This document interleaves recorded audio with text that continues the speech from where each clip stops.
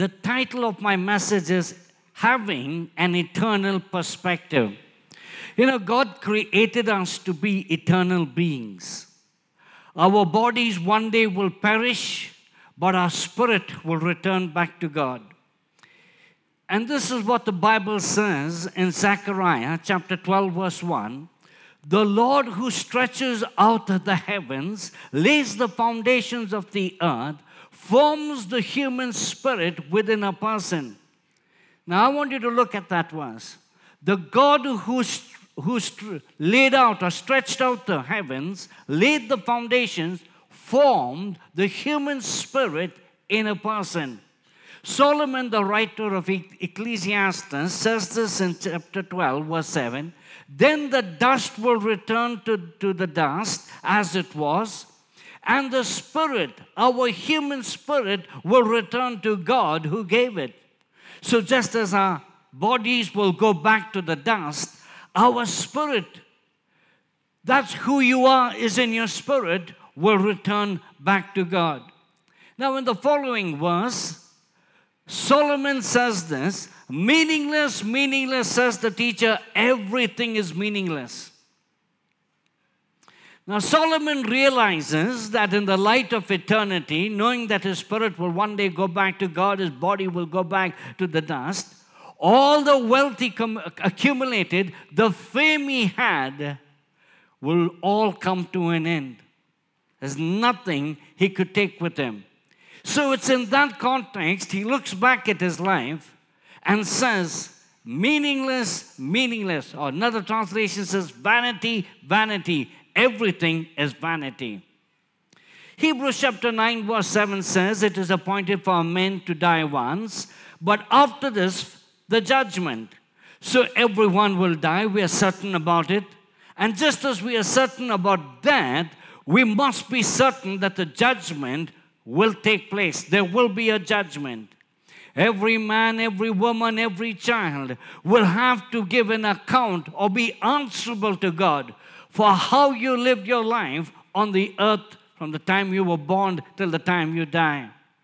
Now, we hear a lot of messages on the second coming, and we have some exciting uh, events that happen in order to show us when Jesus will come.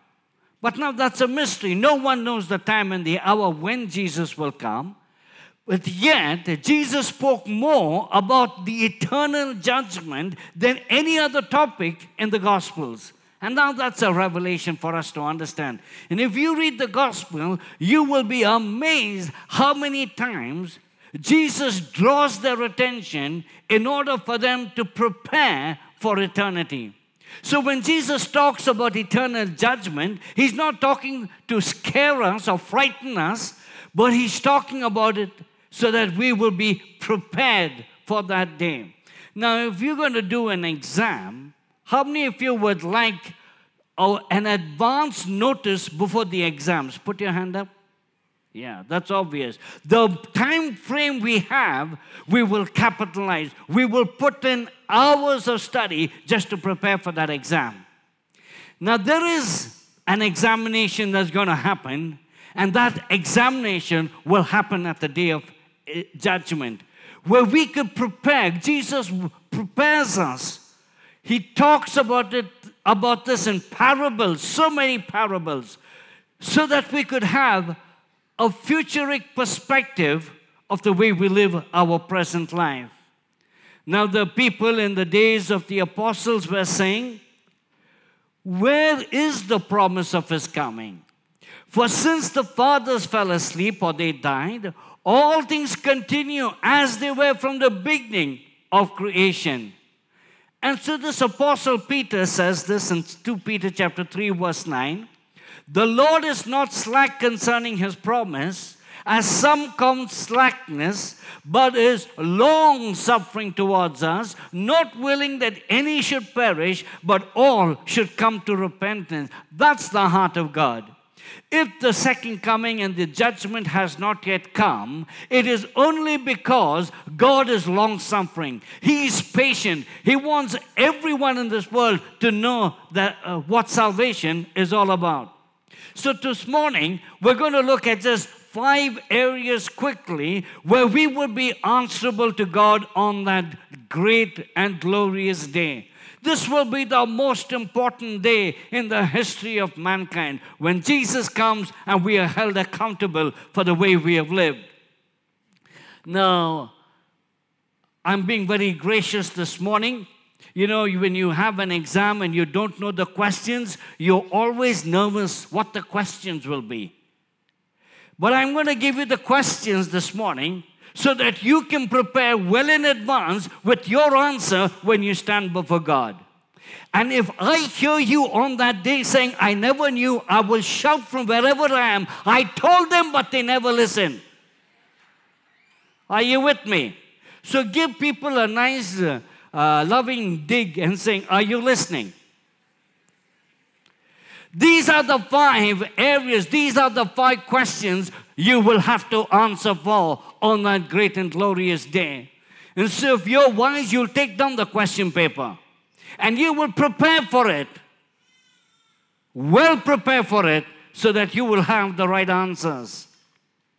The first question would be concerning our possessions. There are five. This is the first one concerning our possessions. Now, there, there was a person in Luke chapter 12 who was in the crowd and asked Jesus, Teacher, tell my brother to divide the inheritance with me. Isn't that a common problem with inheritance? And says, Jesus, tell my brother to divide the inheritance with me. Jesus replied, Man, who appointed me a judge or an arbiter between you? Then he said to them, Watch out, be on your guard against all kinds of greed.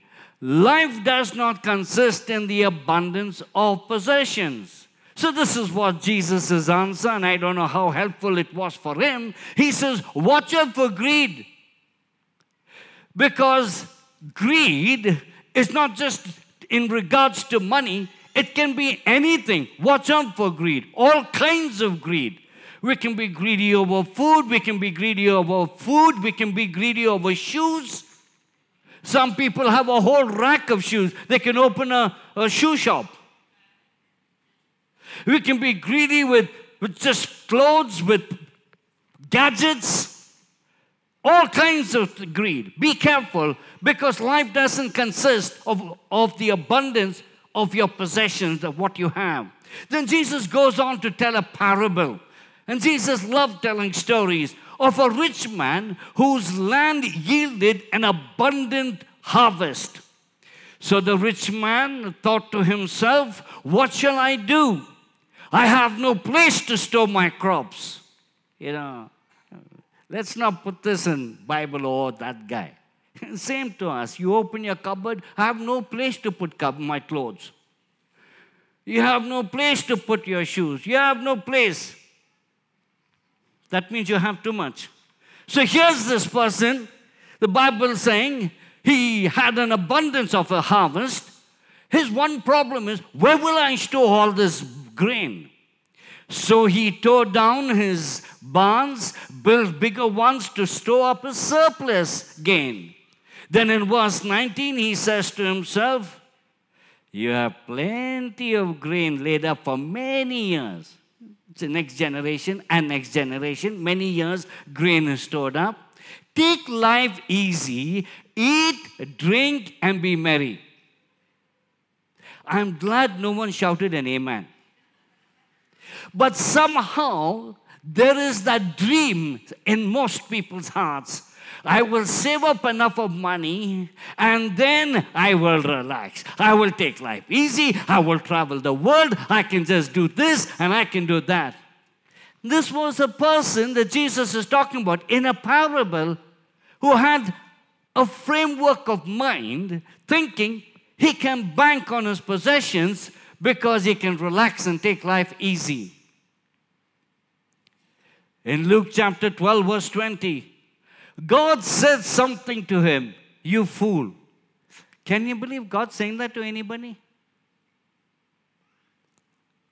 This very night, your, your, your life will be demanded from you. Then you will get what you have prepared for yourself. This, can we read, can we read this together? This is how it will be with whoever stores up things for themselves, but is not rich towards God. Did you read that? So now Jesus gives us a parable, and then that parable has a punchline which is relevant for every generation. And this is about us. It's not about the rich man and the parable, but it's about us. When I was reading this passage, I was thinking, what does this have to do with two brothers fighting over inheritance? What has it got to do? Two guys fighting for the inheritance. He says he's not giving my share. And Jesus tells this parable.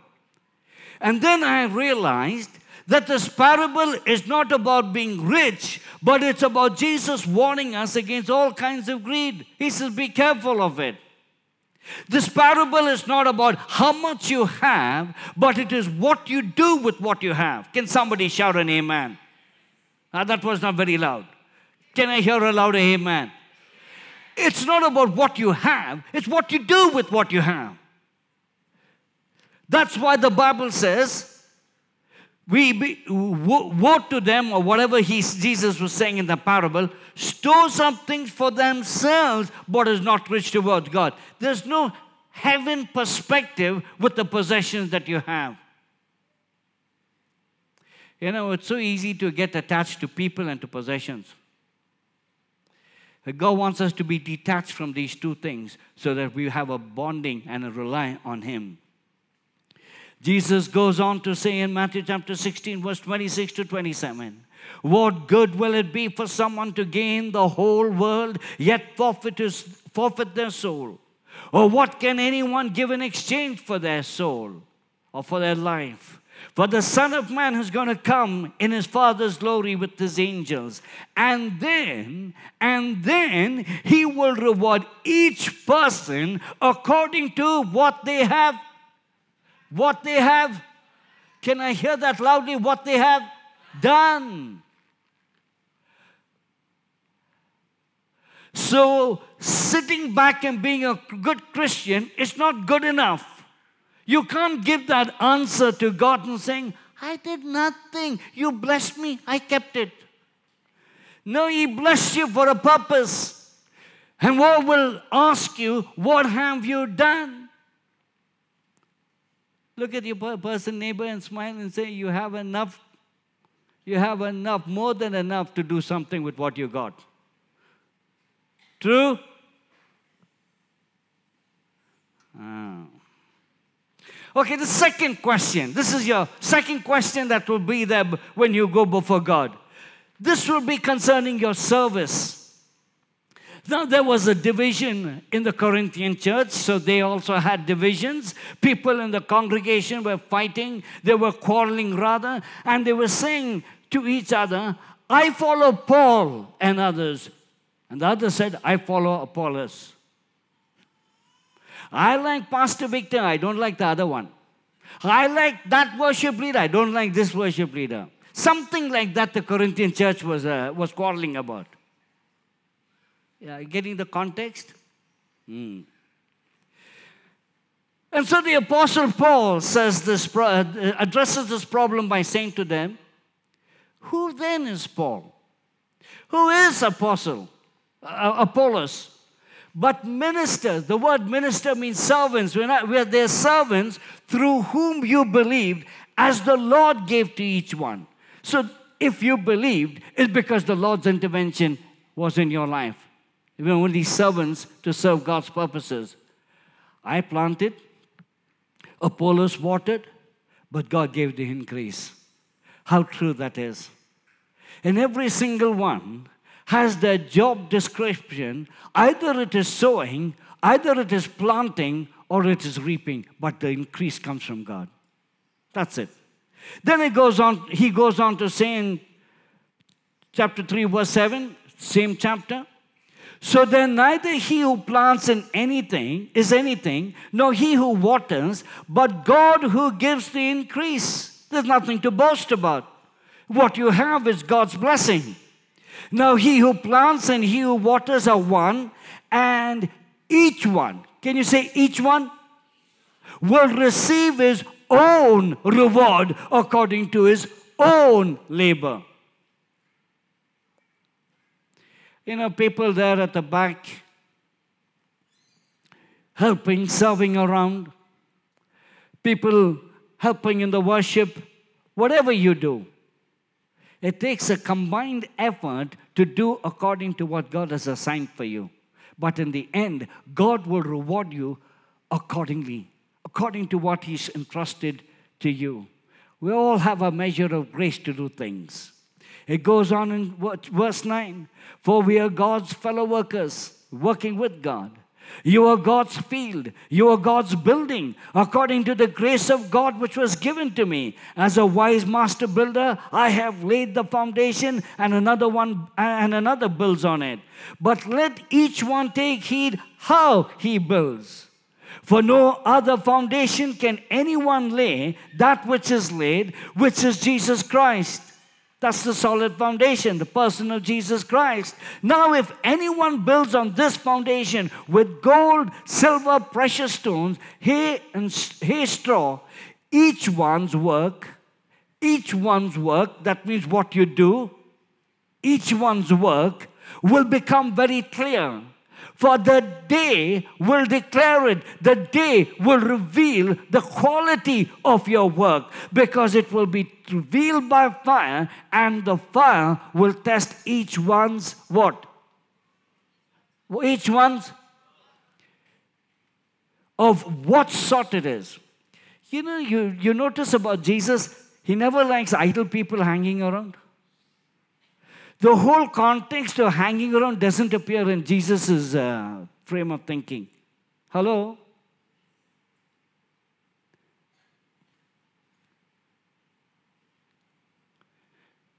Each and every person has a work to do. Why did the Bible talk about gold, silver, and precious stones? When gold, silver, and precious stone goes through fire, it becomes better. When wood, hay, and straw goes to fire, it vanishes. How do we know whether we're doing the right thing that produces gold? It's not what just what we do, it's the motives behind what we do that matter, whether it's gold, silver, or precious stones.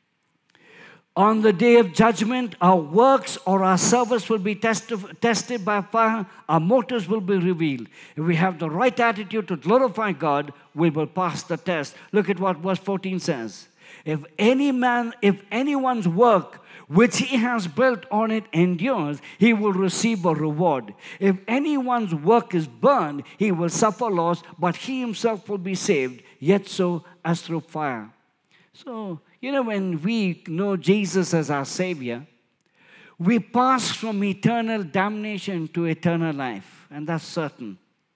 But we face a judgment, and this judgment is not about hell and heaven. This judgment is about what we have done with our life and what we have done with the things that God has entrusted with you. How much you have worked for the kingdom, served the kingdom. The third question this morning is concerning our relationships with one another. How do we relate with one another? All with an eternal perspective. Look at what the Bible says in 1 Corinthians chapter 4, verse 5, reading from the Living uh, Translation. So do not make judgments about anyone ahead of time don't make judgments. Why? Before the Lord returns, the Lord will come, for he will bring out the darkest secrets to light and will reveal your private motives. You see the screen here? Everything I do, you can see here. Judgment day is going to be like that. Only thing, you won't see the physical aspect, you will see the motives and the attitudes come out. And then, you actually thought this about me? Your darkest secrets. So forget about your, your neighbor knowing. Hmm. Everyone will know. It says the darkest secrets to light and will reveal your private motives. Then God will give to each one whether, whether praise is due. In Romans chapter 14, verse 10 says, but, but why do you judge your brother? Or why do you show contempt to your brother? For we shall all stand before the judgment seat of Christ. Let God be the judge. He knows the heart, He knows the motives and the attitudes. Hebrews chapter 10, verse 24. Let us consider how we may spur one another. You know what that spur is? If you, you've seen a jockey, a jockey will have a spur behind their, their heel and they keep goading the horse. And now the Bible is saying, using the same word, let us goad one another. So when I tell you to give a person a nudge, it's very scriptural. Only thing we're not doing it with the heel, we're doing it with the elbow. It's a spur one another towards love and good deeds. Get people to do something good. Not giving up meeting together as fellowshipping with one another, as some are in the habit of doing. Now we have live stream, so it makes it convenient for people to sit at home and watch. You're listening to me. God bless you. I'm glad, but would love to see your face personally. Lovely people you all are. But encouraging one another, and all the more as you see the day approaching. Why is D capital? It's referring to the day, the day of judgment, eternal judgment. Why is it called eternal judgment? Because that's the final pronouncement and nothing can change it. We will live in the rest of the, uh, for the rest of eternity based on how we are evaluated by the life we lived here on earth. The fourth one, so I'm coming close. The fourth one is our attitude towards the poor and the needy. Now, I'm not going to explain much. You probably know this parable, but I'm highlighting it again because Jesus said it in the context of eternity. When the Son of Man comes, Jesus is talking about Jesus, he will come in his glory. You can picture that. All the angels with him.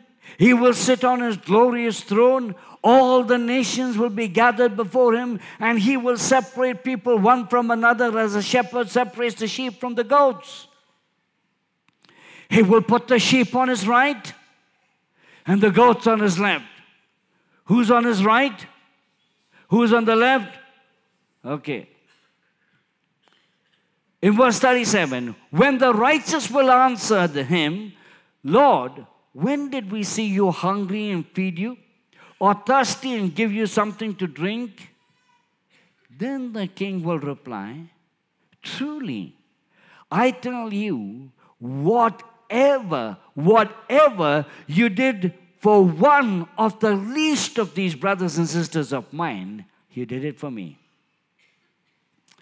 You know, many years ago, I, uh, we as a church, we said, if a visitor came home, how many of you would like to bake a, uh, no, bake a cake for them and serve them? Put your hand up. Okay. Let me tell you, what if Jesus came home? What would you do? You'll bake the best cake? Yes? You will keep everything even more, much better than cake. Now, the same thing you do with Jesus, for Jesus, when you see a little one, a person who's poor, give it to them and say, This is for you, Jesus. We have something that we would do in Radiant uh, School of Learning bake a cake for Jesus.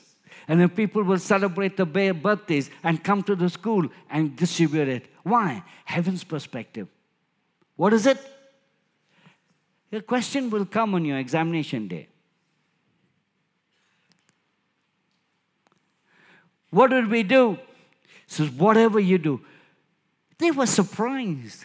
They didn't do it knowing that one day Jesus will reward them. They did it because they were convicted in their heart that this was the right thing. And they went out and blessed others.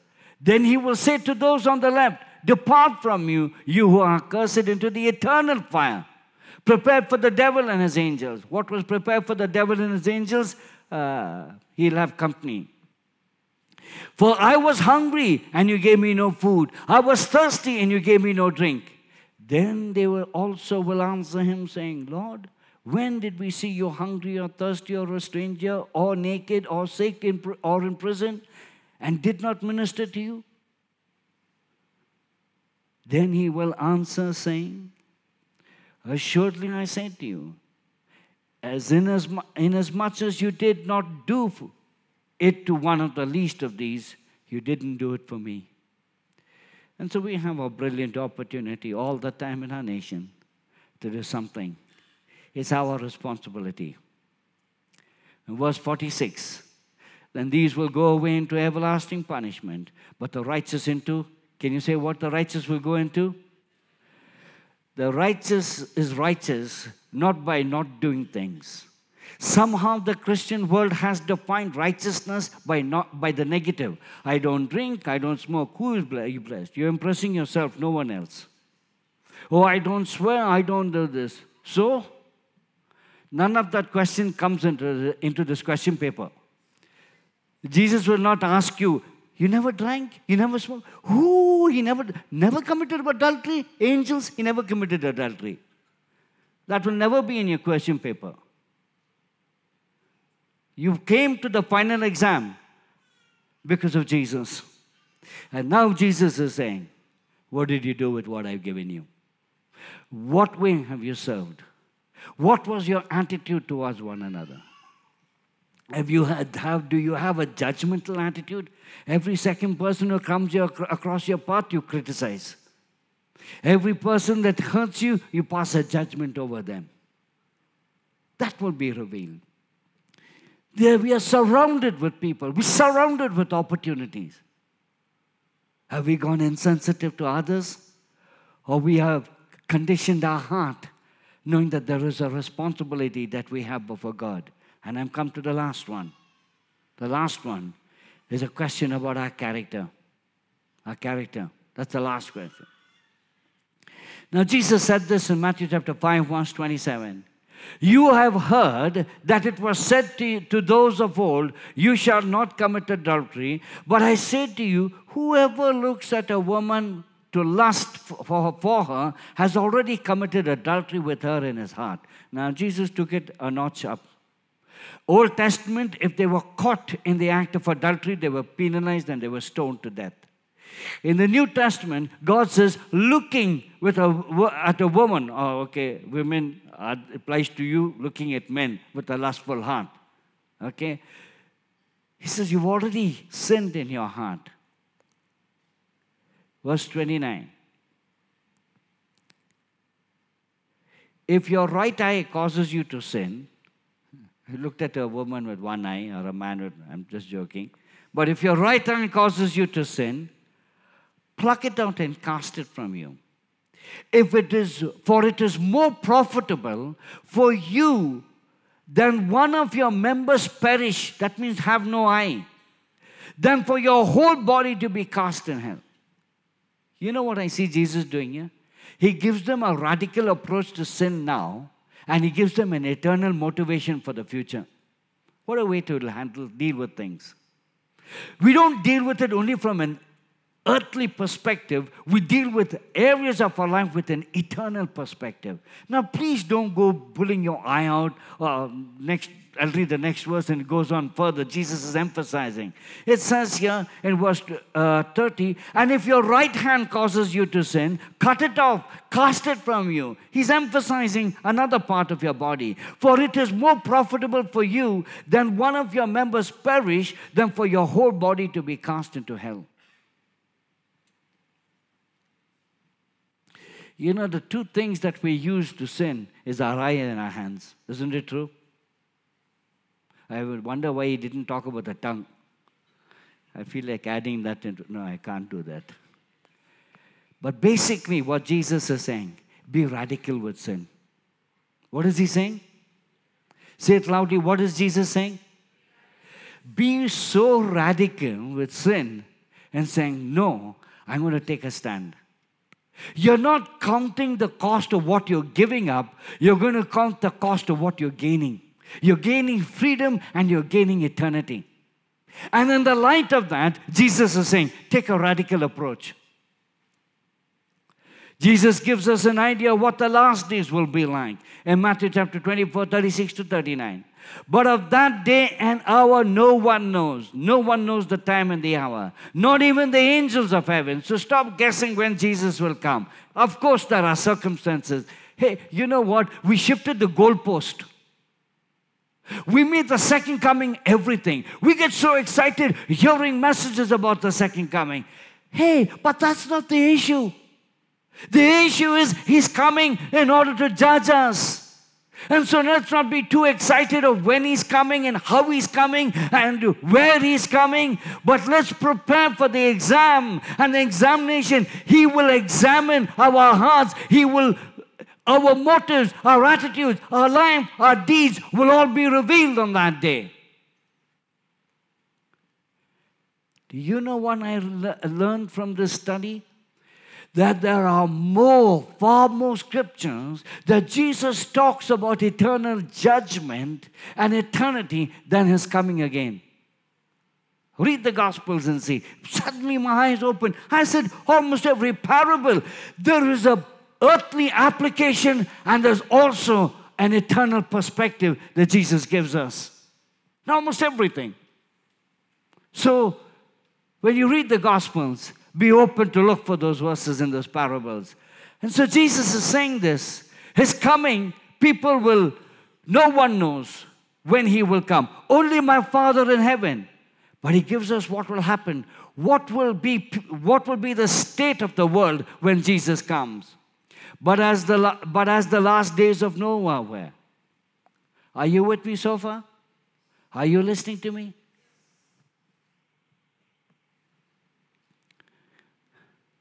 History repeats itself. History repeats itself if we don't watch out. Jesus takes them back right to those days of Noah. Why did Jesus use Noah as an example? Let's read.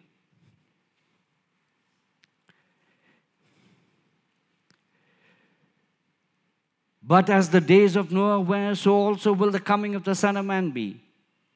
For as in the days before the flood, before God could pour out the flood, what was the eating? Second one?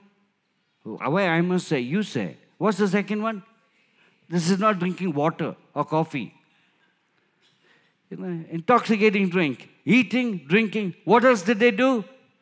Marrying and giving in marriage until the day that Noah entered the ark, right up to the day.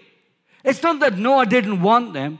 Noah was proclaiming, and you will find that in other verses. I'm not quoting it, but it's there in the Bible. He warned them. God used him as his messenger. No one took notice. They carried on life as usual. I want everyone's attention here this morning. We can go back from the service living life as usual, or we can get our act together and we can start living in the light of in the light of eternity. Somebody shout an amen.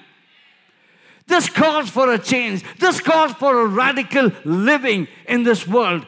In the midst of eating, drinking, all these things happening, there are godly men and women that will bear the message of the cross.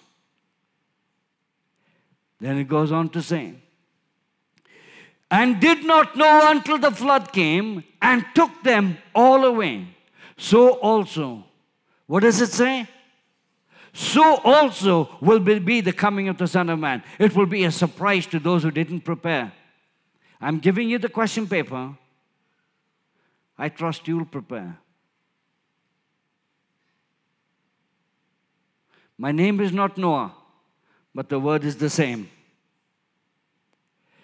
Look at verse 24, uh, Matthew 22 44. Therefore, also, you also be what? Ready for the Son of Man is coming at an hour you do not expect.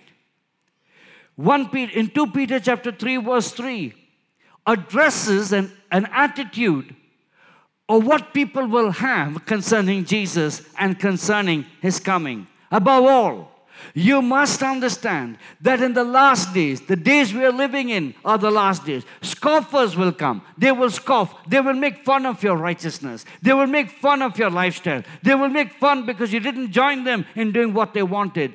Scoffing and following their own desires. Heroes are today are ones who do wrong, not right.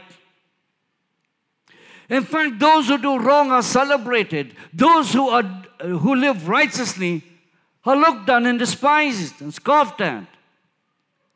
They will say, Where is the coming he promised? Where? Look, generations have come and gone. Don't be too caught up with his coming and eternal judgment. Where will, will this coming be promised? Ever since our ancestors died, everything goes on as it was since the beginning of creation. That's the logic. But then one, 2 Peter chapter 3, verse 5. The apostle says this, the Bible says this. They deliberately forgot. Deliberately, my choice, they forgot that long ago, by God's word, the heavens came into being. And the earth was formed out of water and by water. God created it by His word. By these waters also, the world of that time was deluged and destroyed, just by His word. Not only created, also there was destruction. Now look at verse 7. By the same word, the present heavens and earth are reserved for fire, being kept for the day of judgment and destruction for the ungodly. So, stop entertaining yourself about Jesus coming when and what. Oh, you know, earthquakes, the Bible says earthquakes is there. People are studying here uh, the, the, the, geographical uh, signs of Jesus is coming. There will be walk. Oh, they're killing. Oh, they're, oh, second coming. It's not about him coming. The question here this morning is are we prepared for His coming? His coming will be the final exam. And whatever is decided on that day will determine the rest of eternity.